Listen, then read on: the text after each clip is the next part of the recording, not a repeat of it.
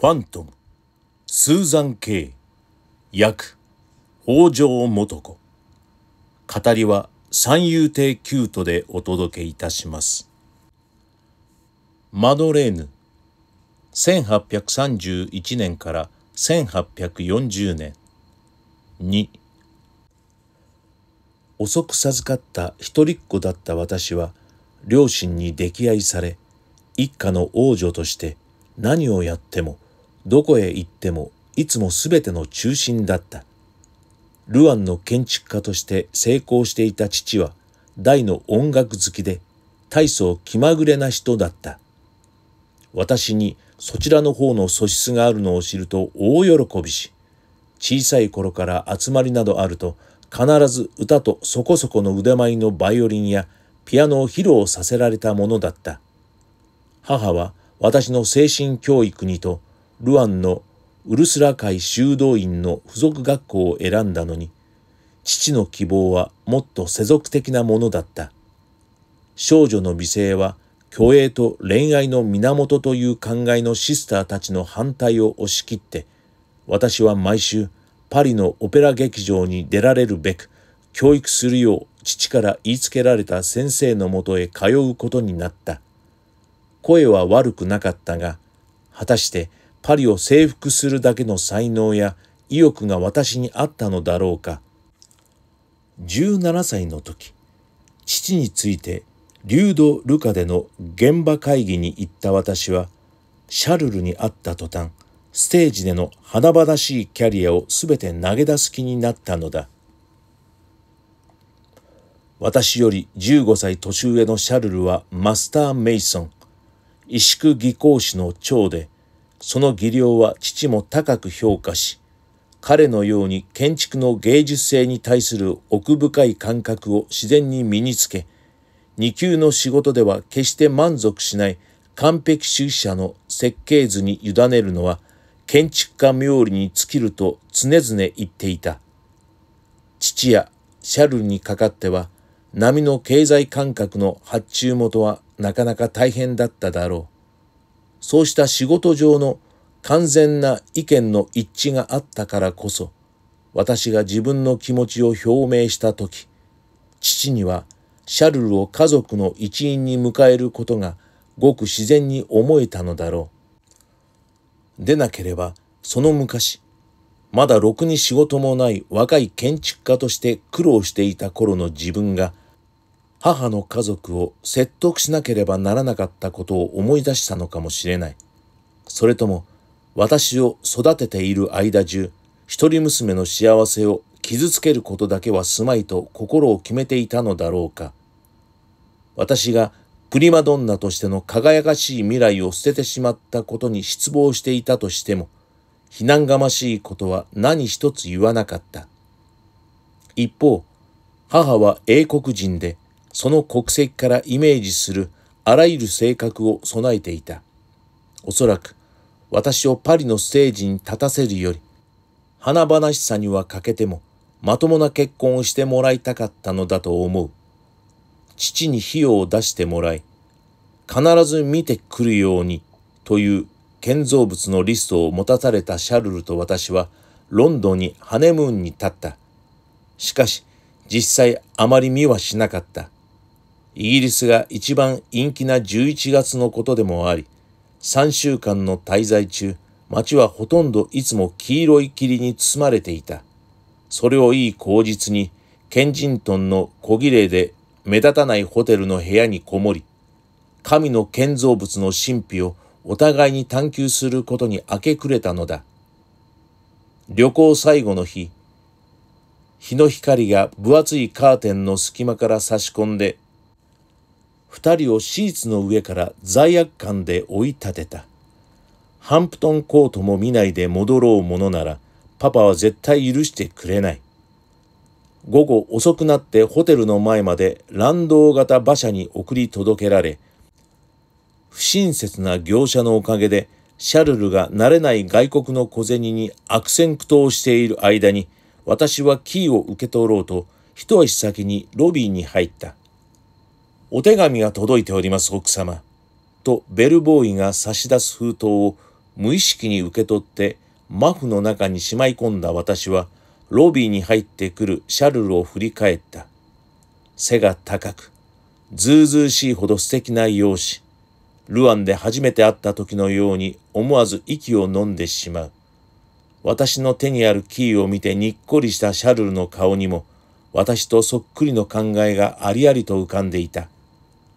豪華な絨毯を敷き詰めた広い階段を笑いながら走り上がっていくとき、いかにもイギリスの威厳を持って降りてくる二人のご婦人にうっかりぶつかってしまった。フランス人ですわ。一人が軽蔑を込めて言っているのが聞こえた。他に誰があんなことをするとお思いになって。シャルルと私はその言葉にもっと大きな声で笑ってしまった。シャルルは本当にイギリス人は気の毒だという。連中の堅苦しくって冷たい様子はゴシック建築の屋根にくっついた水落としの怪獣そっくりだ。愛の意味を知っている者が一人もいないんだから。二時間後、シャルルの腕の中で満足しきった怠惰な猫のように身を横たえながら、私は突然マフの中の手紙のことを思い出した。大急ぎでフランスに戻って初めて、両親がコレラで亡くなったその同じ週に最初の子供を身ごもったことを知った。特にコレラが流行していたわけではなかった。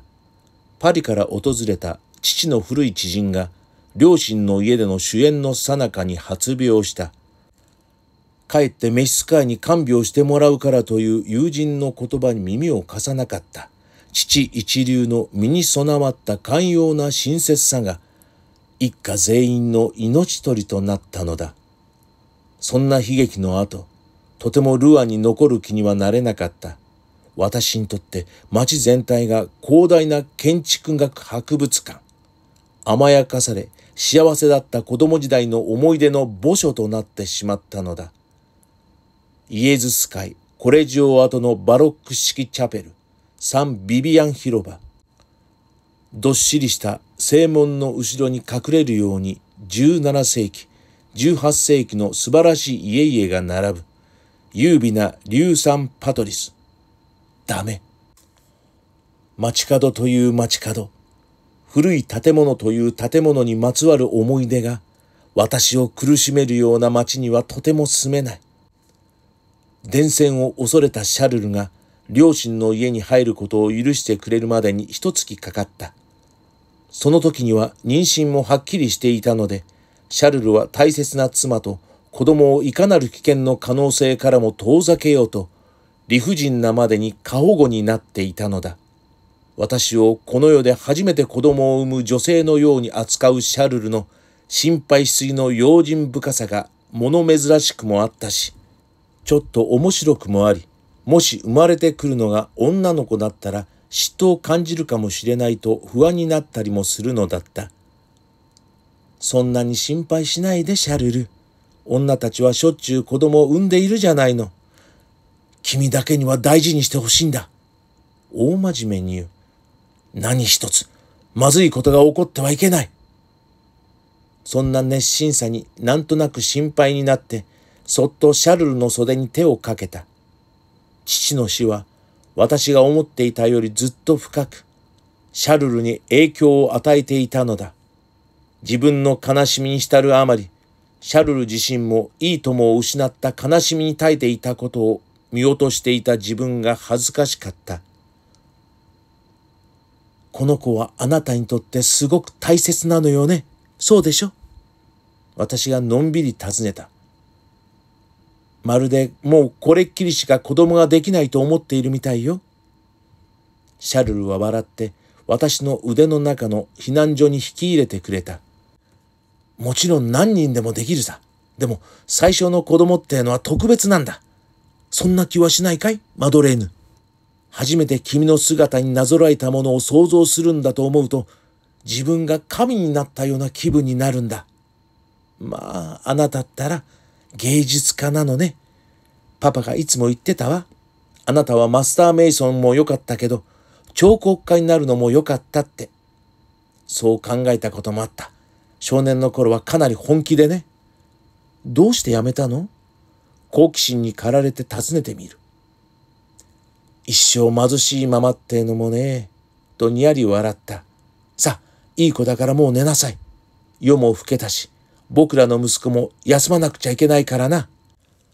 ぐっすり眠っているシャルルの横で、私は彼が描いて見せてくれたこの特別な子供の姿を思い描いていた。何一つ欠点のない赤子の丸い額に清水で十字を切る。私たち二人の最初の愛の結晶。シャルルはこれ以上の子供はありえないと言い切り、私もそれを信じて母になろうとする女たちが持つ自然な一末の不安さえ感じなかった。どんな運命のいたずらにも揺るがない確固たる基盤に守られた二人の愛の魔法の輪の中にいさえすれば幸せはいつまでも続くように見えた当然のことに全ての遺産が私のものになった硫酸パトリスの美しい17世紀の家父の懸命な投資から上がる収入君は立派に一人でやっていけるほどの資産家だね。といったシャルルの暗い小姉にどこか漠然とした不快感を感じた。他人に金のために私と結婚したと言われたくなかったのだ。自分より上の背景を持つ女をめとった男の心の葛藤に気がついたのはその時が初めてだった。それ以来ルアンを離れどこか別のところで一から始めたいという思いが日ごと強まっていった。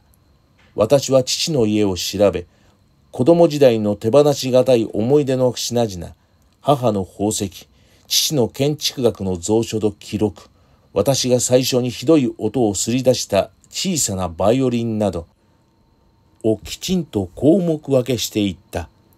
そうするうちにも堅苦しい悔やみの手紙が絶え間なく届く。いずれも悲しみと慰めが程よく表現されていた。そんなある日、マリーからの手紙が来た。退屈なミッションスクールに押し込められていた時以来の友達、マリー・ペローとは結婚式の時にブライドメイドをやってもらった仲だった。およそ風采の上がらないブライドメイドではあったが、マーリーに頼むと言った時には母でさえ意外さを隠さなかった。マリーははためにはいかにも似つかわしくない友達だったのだろう。ミッションスクールにいた時でさえ、私には取り巻きグループがついていた。その連中と来たら、私の一言一言に熱中し、ヘアスタイルからちょっとした着こなしまで真似たがったものだ。言うまでもなく、マリーの容姿には、どこと言って取り立てて見るべきものもなかった。顔色が悪く、およそしゃれっ気のないもじゃもじゃの人参色の髪の影で縮こまったような恐ろしく平凡な少女でそのおどおどした様子ゆえに意地悪っ子たちの格好の餌食になってしまうのだ私が最初にマリーを保護下に入れた時10歳くらいになっていたと思う仲間のみんなは退屈なマリーを嫌がりもし私が許していたらあっという間に昔ながらの皇帝のいじめの対象にされ、辛い毎日を過ごすことになっていただろう。しかし、そうはさせなかった。まるで忠実なスパニエルのようなマリーをいつも後ろに従え、皆には役に立つ子だからと言っておいた。これは嘘ではなかったが、全く本当というわけでもなかった。とにかく、学校一の美人だった私は影響力も強く、私の言葉が法だったのだ。そして他の友達が結婚したりしてノルマンディー中に散らばってゆき、音信が途絶えてしまってからもマリーだけは友人であり続けていた。ぎこちない言い回しで真心がこもっているのはよくわかるのだが、改めて書かない方が良かったと思うような率直すぎる感情の羅列。私が開いた手紙はマリーそのものだった。サン・マルタン・ド・ボシュビルの両親の家にぜひ来るようにと誘ってくれるマリーの手紙をテーブル越しに押しやると、シャルルは思わずうなったが、私に睨まれて何も言わなかった。私たちはその週末、ボシュビルに出かけた。ペロー一家の押しつぶさんばかりの艦隊を何とか2日間我慢したシャルルも、3日目にはどうしても立ち会わなければならない用事があるからとルアンに逃げ出し、シャルルが去ったその日の午後、マリーと私は村の外れにポツンと立った石壁の家が売りに出ていることを発見した。ツタに覆われ、まとまりもなく広がって使いにくそうだし、庭も果樹園も前の年老いた住人が手入れ一つせず茂るに任せていたというのに、私は一目見るなりその家がすっかり気に入ってしまった。ルアンから遠すぎる。戻ってきたシャルルは話を聞くなり恐れをなして反対した。でも綺麗なんですもの。と私がつぶやく。手入れにかなりかかるぞ。そんなのいいじゃないの。ね、シャルル。あの家本当に欲しいのよ。だってすごくロマンチックなんですもの。シャルルがため息をつく。その時、漆黒の髪に一筋、日の光に輝く白髪が見えた。わかったよ。いつもの諦めて甘やかしてくれる口調だ。そんなにロマンチックなんだったら買わないわけにはいかないな。というわけで半分眠ったようなボシュビルに越してくることになったのだ。5月には古い家の手入れもすっかり終わり、最新のパリ好みにしつらえた。それは私の完璧な王子様を迎える完璧な小さなパレスだった。1831年5月3日、これは私にとって決して忘れることのできない日となった。5月の初めだというのに異常に暑い日で、私は丘に上がったクジラのようにソファーに横になり、扇子で仰ぎながらメイドにレモネードを運ばせていた。ひどく疲れてイライラしていた。2歳になるスパニエルのサシャは体育層に今の中を飛び回っては私の寝ているソファーの脇にボールをせばしく落として遊んでくれるかという期待に尻尾を振る。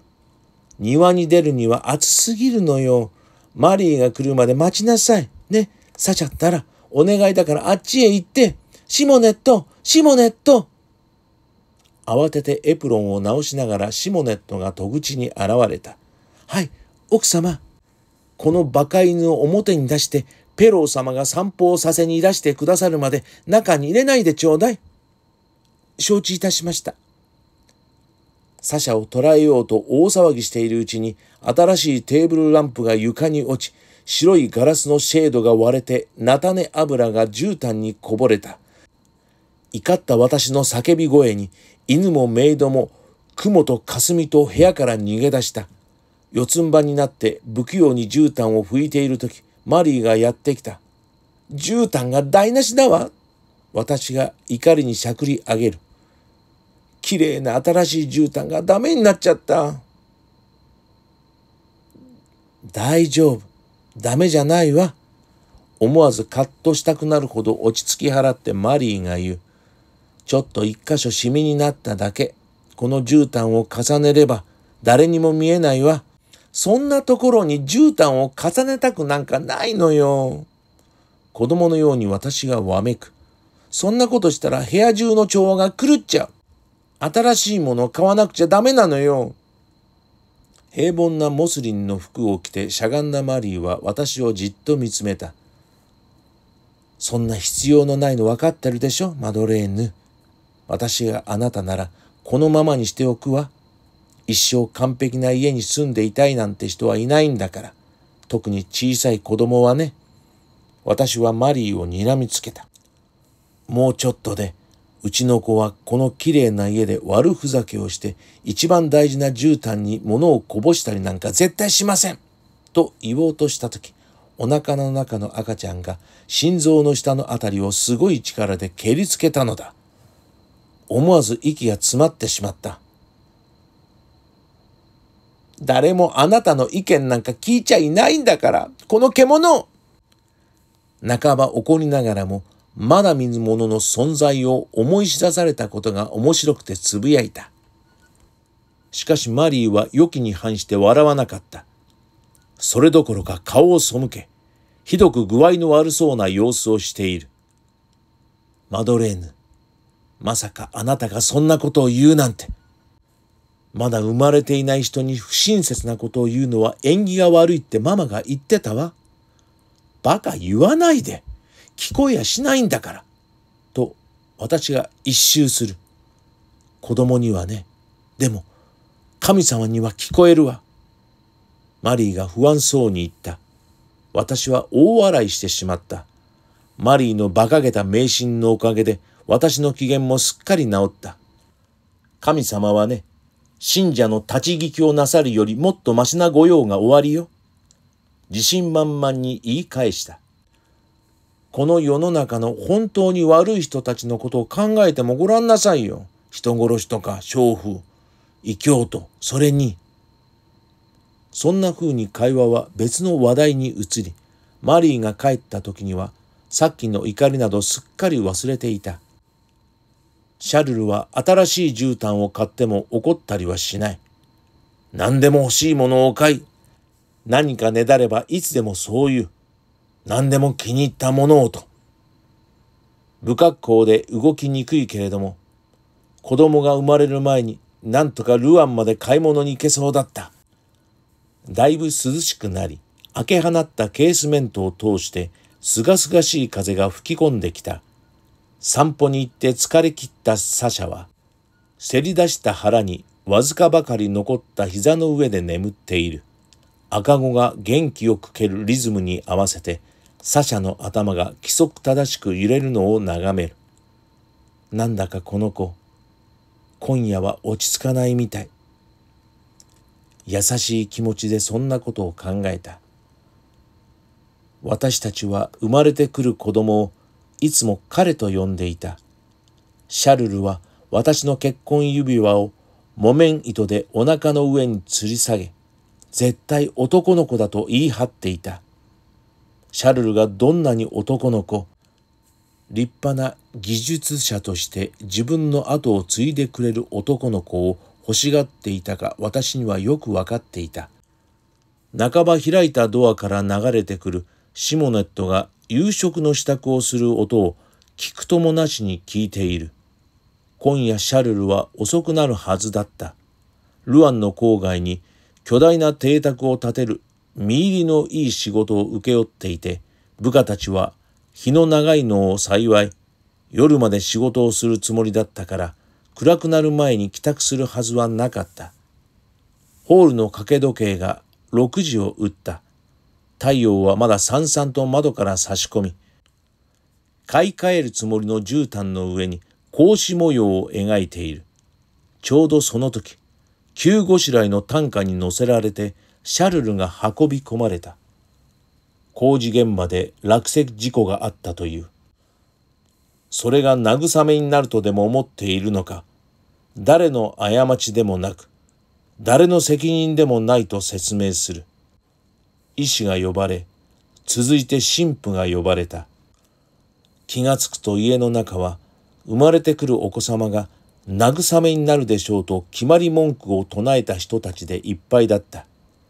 シャルルを埋葬した日の晩、たった一人で両親から結婚祝いにもらった壮大なベッドに横たわり、膨れ上がったお腹の中で脈打つ新たな生命を感じていた。男の子が生まれますように、それもシャルルの面影を忍ばせてくれる男の子でありますように、と祈ったことを覚えている。そして今、確かに子供が生まれはした。子供が生まれてから何時間も経った覆いのない窓から、ようよう新しい日が始まろうとしているのに気づいた。あけぼのとともにあの魔女セイレーンの声のような悲しげな音が聞こえ始め、私の脳を恋人の抱擁のように包み込んだ。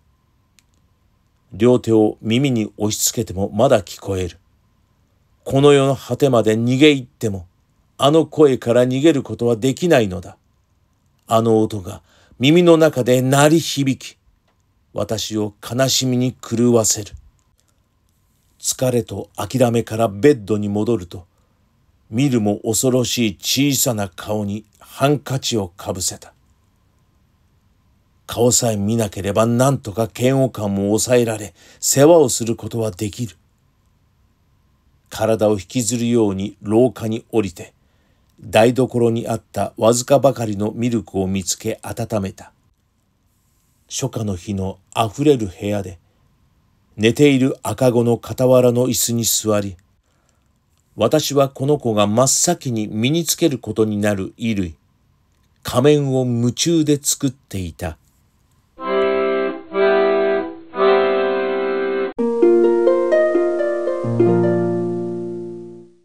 ご視聴ありがとうございます。チャンネル登録もよろしくお願いいたします。高評価もね、チャンネルメンバーシップもやっております。メンバーにどうぞご入会お待ちしております。イエーイ